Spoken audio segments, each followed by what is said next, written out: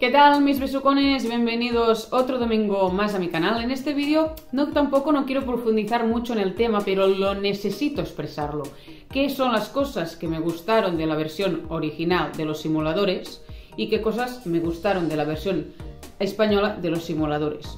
Cosas que digo, mmm, esto está bien, pero le falta algo, o a todo lo contrario, eso está bien, pero eso me sobra. ¿De acuerdo? Así que vamos con la intro y empezamos con el vídeo.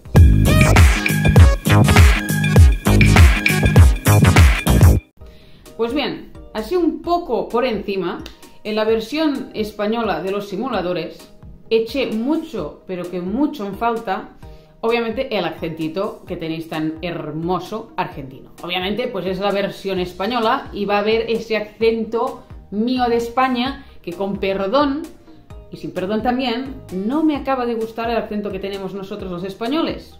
Incluso el mío tampoco no es que me guste y encima tiene un acentito un poquito rarito, porque ya sabéis que yo pues soy de la región catalana.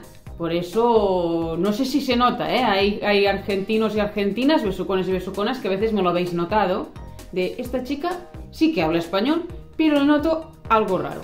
Vale, pero hay gente que sí que me lo nota porque sí que en realidad pues ha vivido aquí en Cataluña una temporada o tienen familiares, que esto todo puede ser en esta vida, entonces lo notan. Uno, uno de los simuladores, cosa que yo no lo voy a entender nunca, que es Santos, ¿vale? Es el único que es argentino. Entonces, pues como desentona un poquito, que a mí me encanta escucharlo, pero digo, ah, es el único simulador original que está con los cuatro simuladores.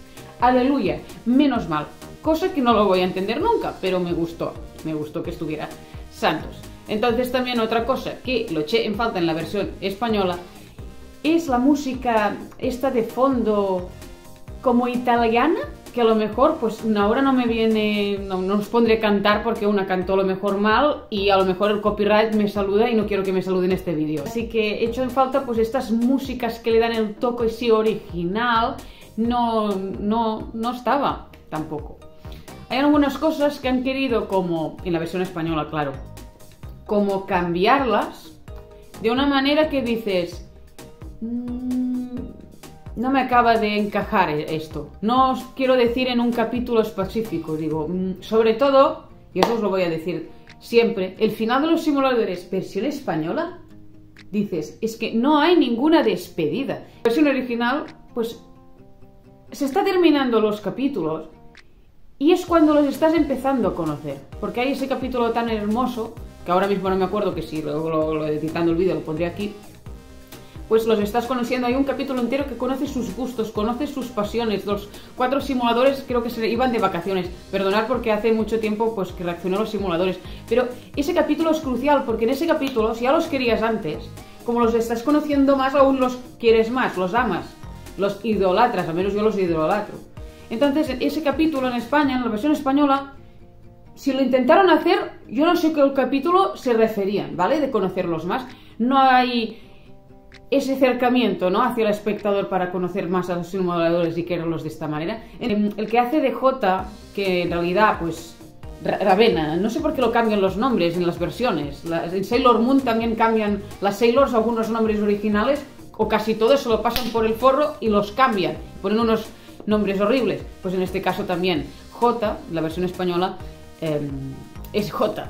Y en la versión argentina es la vena. Entonces, no tiene, perdonar que os lo diga, pero es que a mí Diego Peretti siempre me va a gustar este actor. Le veo muy a su manera, muy sensual como hombre. Lo veo un hombre sensual.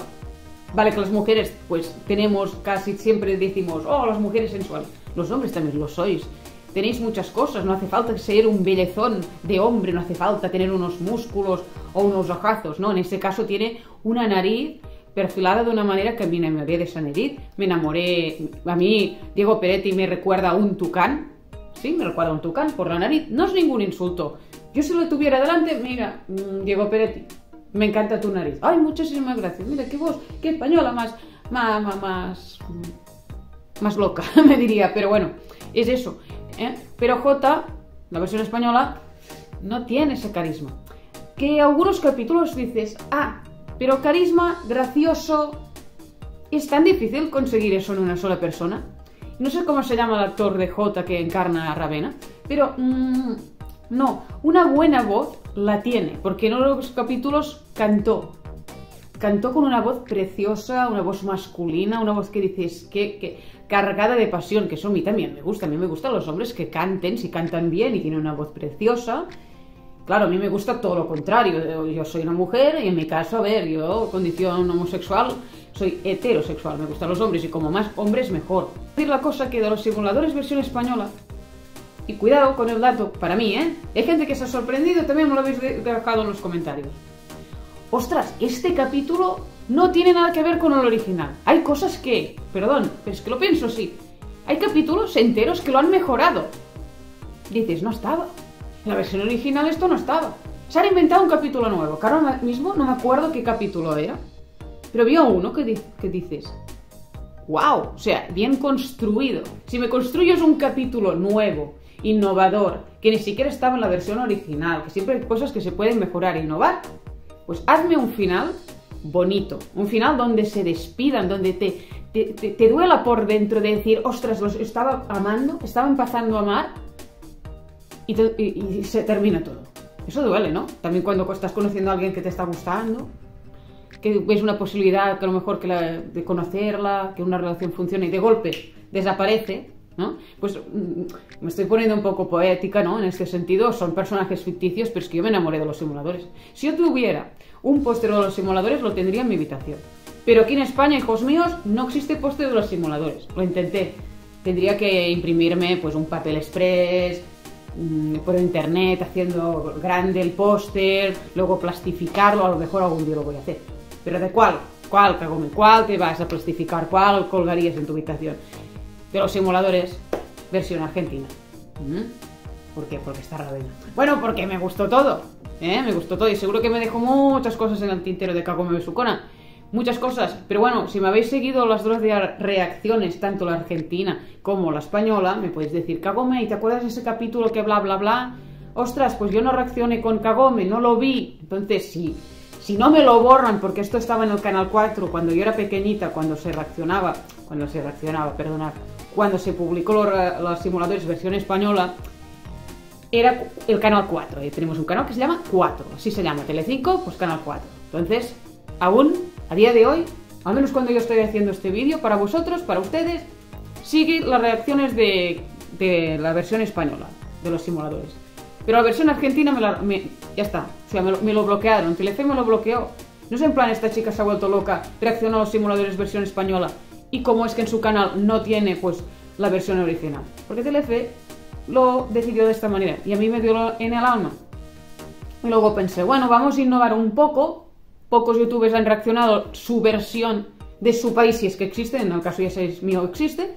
Pues me aventuré por el mundo este de las versiones y ya está, aquí pues habéis visto mi, pequeño, grande, mm, llamarlo como queráis, opinión. Pues eso, cualquier opinión sobre el tema con respeto, obviamente, hacia mi persona y hacia entre vosotros mismos y mismas, porque es que esto no deja de ser una comunidad de besucones y besuconas, pues ya está, y os voy a leerlo todo, todo, con corazoncito, contestando, ya sabéis que también por Instagram estoy activa. Así que nada, sin más dilaciones, finaliza este vídeo, pero el debate está abierto abajo en los comentarios. Nos vemos prontito. Chao, chao.